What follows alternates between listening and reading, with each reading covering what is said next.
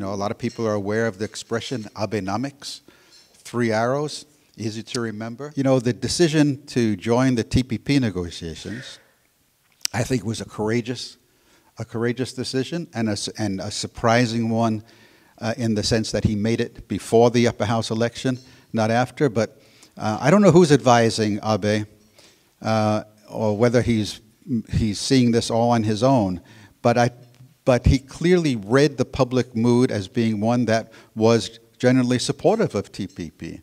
And that's what the polls, I the think polls that's show. what we can say after 100 days. So far, so good. And, you know, changing expectations, creating a more upbeat mood, that in itself is a huge accomplishment. And, and I think it's, it's very important. People are feeling more optimistic, and we see it. The stock market is up, the yen is down, Abe's, Abe's popularity is, uh, is soaring, well, somewhere over 70%.